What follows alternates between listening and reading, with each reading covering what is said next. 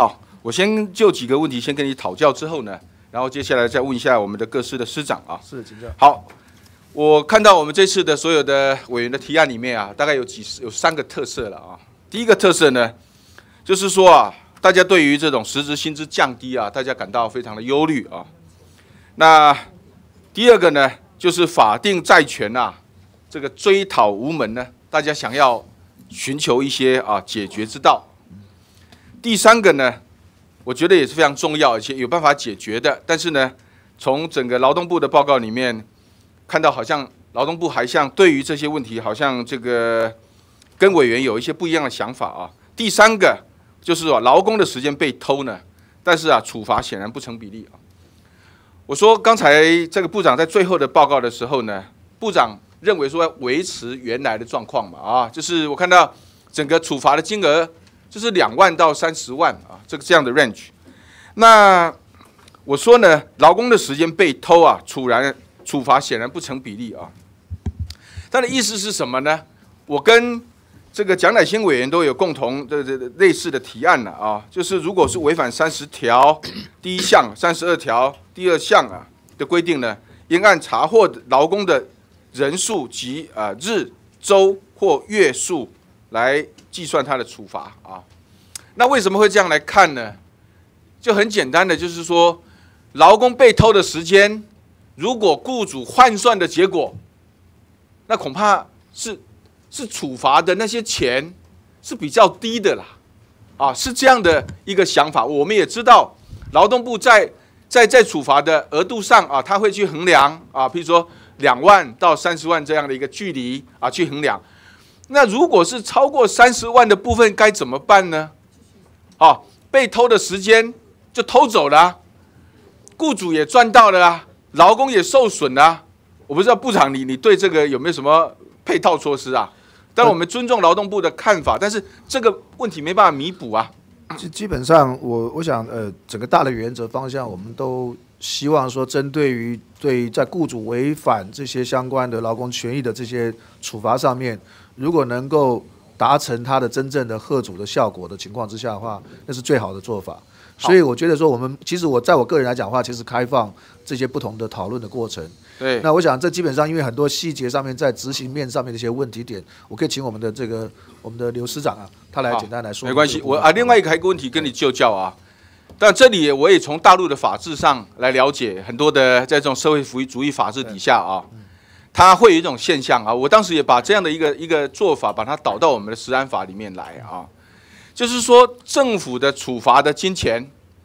裁处的这个罚款呢，它的某一部分的比率啊，可以来作为啊这个奖金呐啊，或者是这种东西。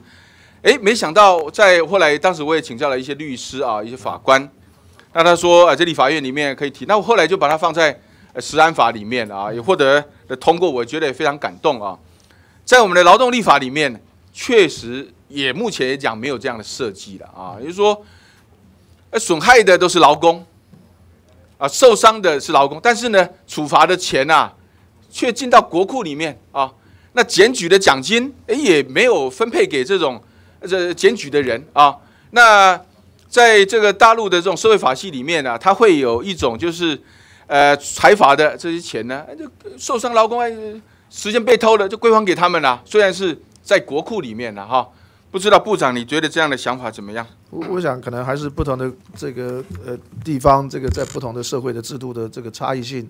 我们在这边的话，当然我们一定是有经过一些考量过，它可能产生的一些后遗症的问题。对，好，这个东西我觉得都是可以讨论的，我觉得有创意了啊，可以讨论。就很就像包括，就像说基欠工资啦哈，资遣费啦，对啊，这个退休金啦，这种所谓的劳动的法定债权啦。在各位过去的在学界里面也讨论到了，像这种一般的劳工的债权啊，它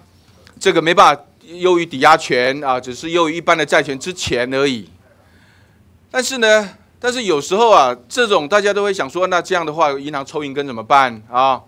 那银行如果来建价的时候啊，他可能就说，因为雇主啊有欠的一些钱，呃，还债的情况不是很好，所以他要来。来这个设定啊，这个房子的抵押哈，厂房的抵押的时候，呃，金钱就少一点。但是呢，从另一个角度来讲，他又会想到另外一个问题，就是说，诶，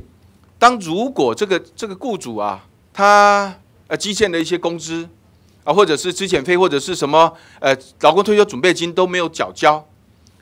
那我银行来评估他的这种呃债权的时候，或者是要来呃放款的时候，他就自动把这些扣下来，这样无形当中也强化了雇主愿意啊来配合这种劳动法的要求，赶快把他法律上的义务啊，把它清偿完毕之后啊，才来贷款，成数会比较高。事实上也有这种想法、啊，所以很多东西都是两面的啦，也未必说过去的这个劳工劳动法的教科书里面来告诉很多的学生、很多的学者说，哎，怎么样一只是优于一般的一一般的债权啊，低优低于抵押权，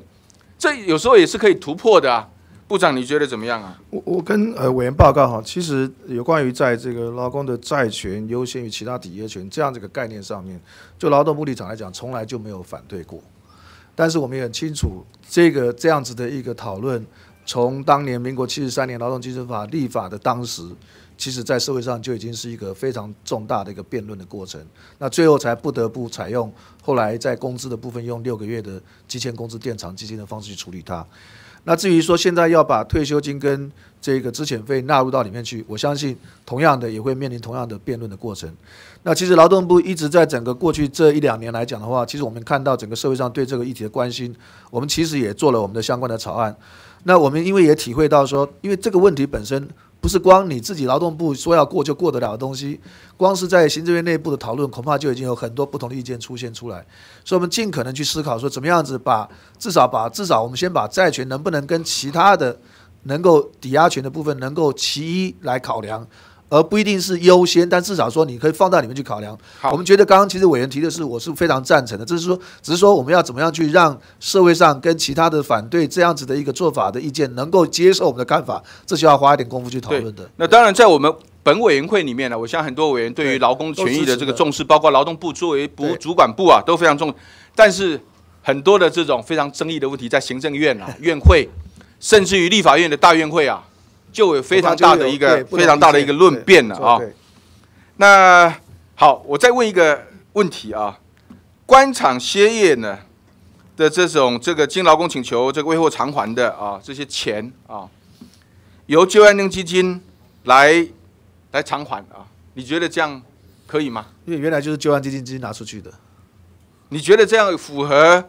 就业安定基金的这种使用目的吗？符合符合啊、对符合我就是看到您报告里面产生了一个撰写上的矛盾呐、啊，你知道吗？你们在撰写报告里面第三页啊，你们写写说啊，这个这个官场就是歇业清算、宣告破产所基建工资、资遣费、退休金等劳工请求未获偿还者，由就业安定基金予以垫偿，是否符合基金使用目的，仍需审慎评估。而且你下届人这自打嘴巴，我应该这样讲，就是说，因为制度上的规范在过去本来就是，比如说基建工资那个部分，它其实是透过基建工资垫偿基金的方式来去处理的。应该他这样的写法，我们的同仁写这个东西的目的就是说，如果真的要做的话，应该用基建工资垫偿的制度的那样子的同样的模式去做，可能会比较恰当一点。对，那你直接用旧安基金来处理的话，可能在它整个处理上面还是有违障碍。这这我们都了解了哈，我们都了解。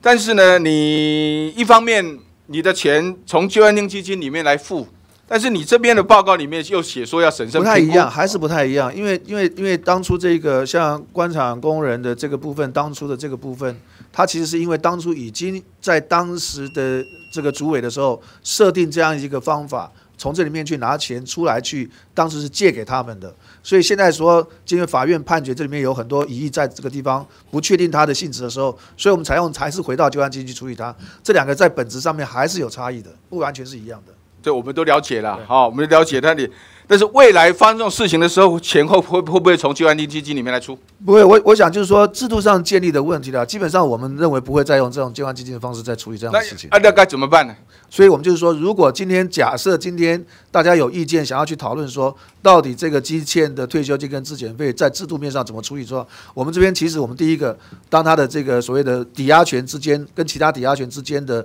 平衡性的问题，这第一个考量的二十八条的部分。第二个，我们也提到五十六条的部分。五十条部分我们提到说，如果今天是在旧制退休金，那你可以在呃前呃前一年就必须要去确认后面那一年可能即将要退休劳工，这个是比较确定的，用这个部分去处理它。其实相对的很多的制度上的设计配套才能够完全解决这个问题好的。，今天的，很多委员提出不错的想法啦，我觉得部长应该好好的保持一个对，开我想我们可以好好的讨论，我是蛮开放的，我觉得可以开放来讨论这样的问题。好，OK，好对，好，谢谢。好，谢谢吴委员。接下来陈杰如陈委员。